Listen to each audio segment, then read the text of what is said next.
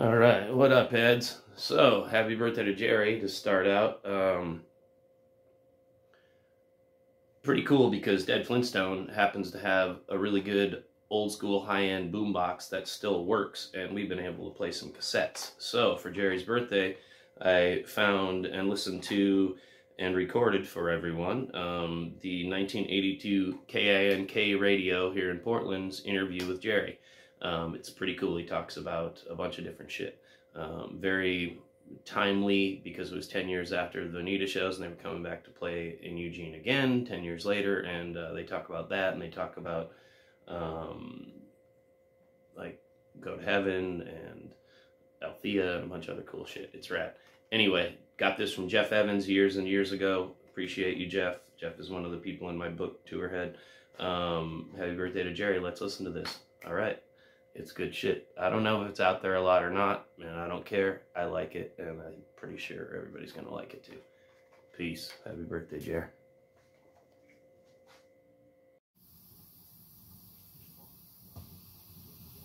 Our Kink Focus tonight with the Grateful Dead's Jerry Garcia.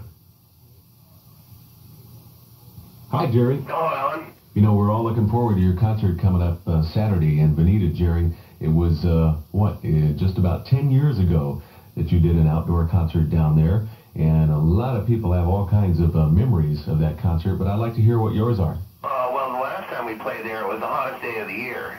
And it was, uh, my recollection of it mostly is that it was terribly uncomfortable. But I understand that a lot of people have a fond, fond recollections of it. But I remember that they had to uh, bring water in in a big old tank truck just to spray people to cool them off a little. From my point of view, from a performance standpoint, it was uh, there were lots of things going against it. You know, the, the tremendous heat does terrible things to uh, the instruments.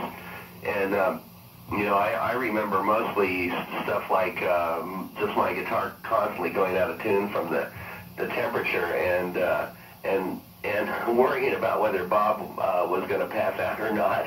But it was one of those places, well, you know, like uh, the, with weather in, in Oregon, it's always pretty iffy. You know, probably better that it was too hot than, uh, than raining. Me and my uncle went down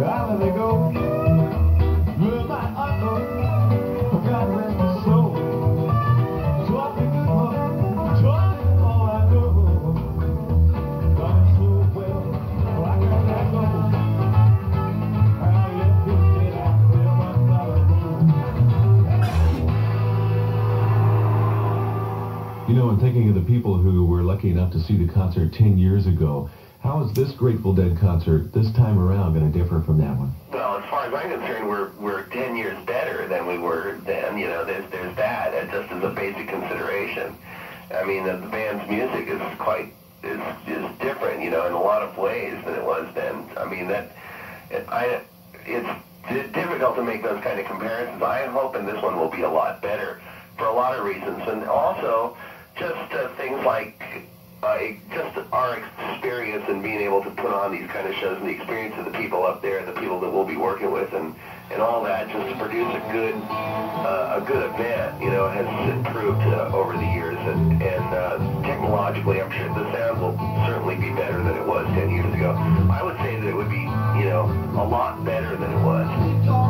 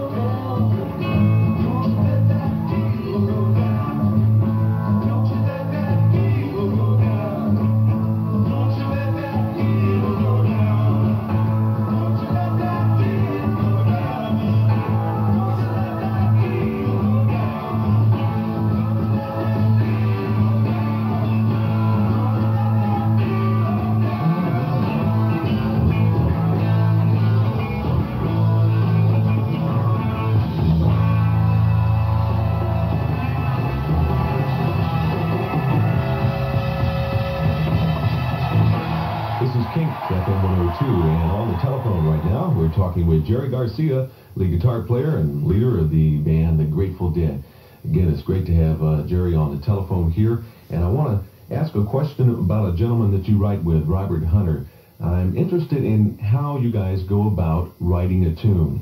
Do you, for example, does Robert Hunter give you a set of lyrics and then do you take them and work on those lyrics alone and make a song out of them? Do you actually sit down together and, and, and put a tune together that way? Uh, how, how do We do it all those different, all the different ways, and a few more too. I mean, uh, sometimes uh, um, uh, the music comes first. Sometimes I'll write a melody, and I'll have the phrasing and uh, and the form and uh, the melody, and even some sense of um of uh, how I want the line structured in terms of where I want vowels to be, you know, where I want open valves and uh, and and that, you know, and and Hunter is uh, such a good craftsman that he can write to order on that level. I mean, what happens is I'll go over to his house, say, and, and play through my ideas and and sing to him, you know, sort of scat sing uh, the way I want the tune to be, and then he'll work on it for a while, and then sometimes we hone an idea or work on it over a long period of time. His output is much greater than mine is. I mean, he's he really is a writer, and I'm not really a composer. You know what I mean? Uh-huh. I'm sort of a composer by uh, default or something. Uh, when we were starting to play um, music, there's always been this thing of uh, having original music, you know, and, and so we all sort of have taken our hand at it at one time or another. In reality, we've done everything, I mean, including the, the you know, sort of Tin Pan Alley approach of me sitting down at the piano and Hunter standing there with a notebook, you know. I mean, we, we've done to do it all the different ways.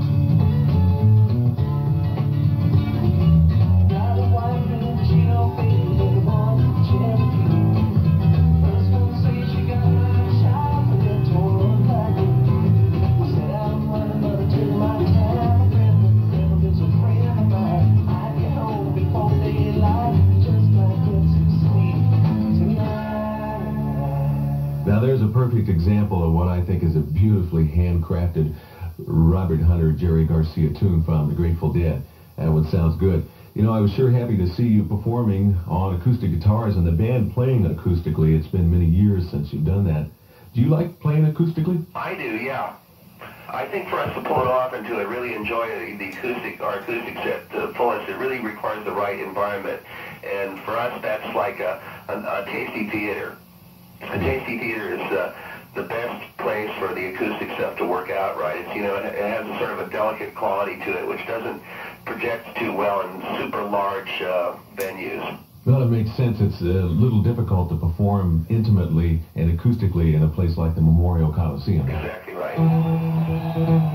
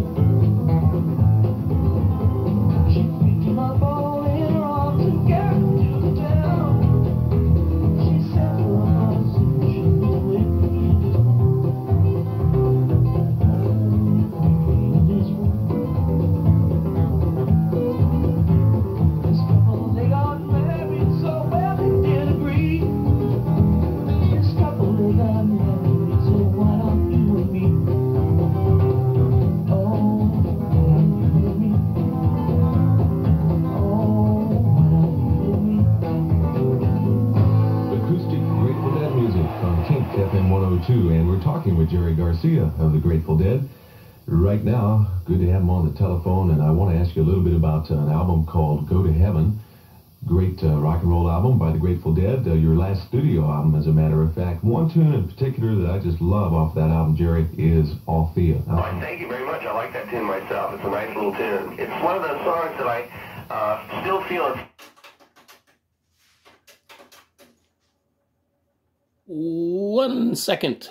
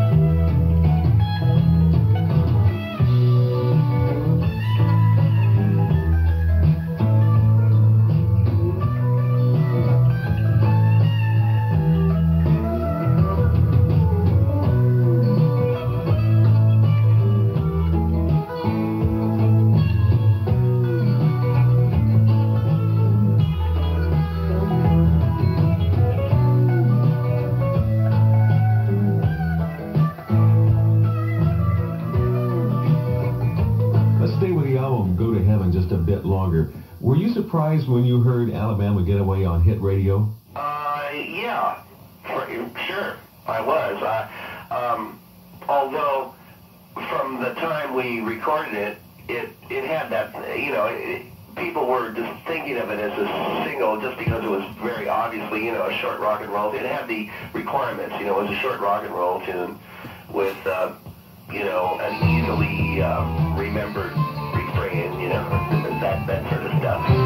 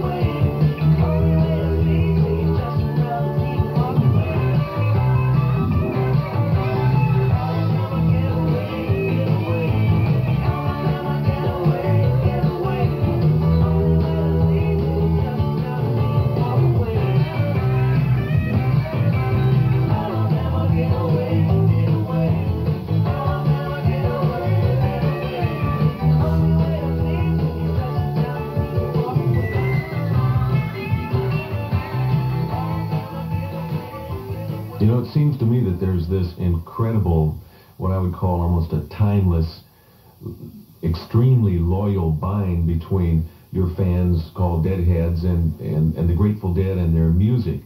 Do you ever attempt to verbalize about that or try to explain it? Uh, yeah, we attempt to verbalize about it. I mean, me and the band discuss it, uh, and a lot of people ask us about it, of course, you know, so it's a question, it's a question that's not, that's, uh, not new to me. I mean, it, it comes up pretty frequently, and I don't have, I really can't explain it, but, but, uh, I sort of know what it's about, and it really is, it, it's really that the audience kind of shares our involvement with the band and with the music. People very much have their own individual um, relation to the music, and that, that has something to do with it. The fact that there's an open end there somewhere, that people can make their make their own, uh, form their own opinions and their own uh, criterion and so forth for well, you know how they feel they're involved and what they like about it. But from our point of view, from the point of view of those of us who are members of the band, I think it really, I, I, it has a lot to do with, I think, our just our basic approach to to uh, music, which is not so much something that we structure and think about, but is more like uh, like our personalities. It's, it's one of those things that you can't really do something about. It just it's it's just a, a sort of a fortunate combination of uh, of well, you know, that description that you just gave about the band really applies personally to you, I think, and, and how you play. You know, Jerry, I get the feeling that when you take off on a lead guitar solo, that you really don't exactly know where you're going. No, I don't. no, I don't. It's, uh, it's a matter of sort of having faith, you know. It, it, it, and it, and that's also part of what makes it interesting and uh, fun to, to do and to be involved with after all this time. You know what I mean? It's the you don't know what's coming next you don't know what's going to happen uh, truly, and and as a result, sometimes really amazing things happen. Sometimes really remarkable stuff happens, and I don't, I really don't believe that it would be that way unless you uh, started off with a basic assumption that something special could happen. You know what I mean? That there's sort of an act of faith there somewhere. It just has to do with thinking that it's possible for something miraculous to happen that has to do with music and people and uh, playing and all that.